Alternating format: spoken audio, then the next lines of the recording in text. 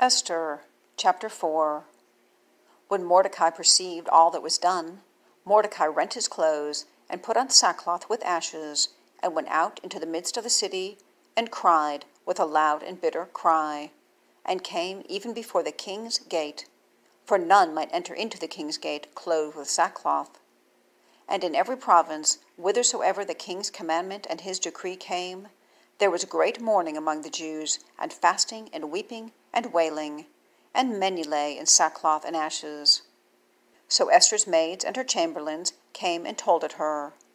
Then was the queen exceedingly grieved, and she sent raiment to clothe Mordecai, and to take away his sackcloth from him. But he received it not. Then called Esther for Hatach, one of the king's chamberlains, whom he had appointed to attend upon her and gave him a commandment to Mordecai, to know what it was, and why it was. So Hatach went forth to Mordecai unto the street of the city, which was before the king's gate. And Mordecai told him of all that had happened unto him, and of the sum of the money that Haman promised to pay to the king's treasuries for the Jews, to destroy them. Also he gave him the copy of the writing of the decree that was given at Shushan to destroy them, to show it unto Esther, and to declare it unto her, and to charge her that she should go in unto the king, to make supplication unto him, and to make request before him for her people. And Hatach came and told Esther the words of Mordecai.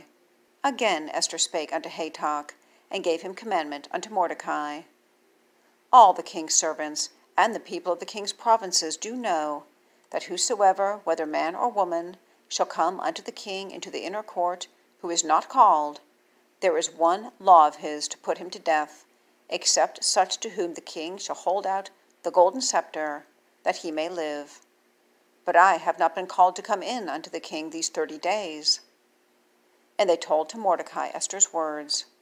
Then Mordecai commanded to answer Esther, Think not with thyself that thou shalt escape in the king's house more than all the Jews.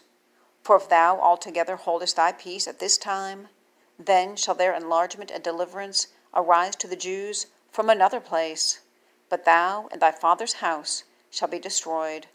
And who knoweth whether thou art come to the kingdom for such a time as this? Then Esther bade them return Mordecai this answer Go, gather together all the Jews that are present in Shushan, and fast ye for me, and neither eat nor drink three days, night or day. I also and my maidens will fast likewise, and so will I go in unto the king, which is not according to the law.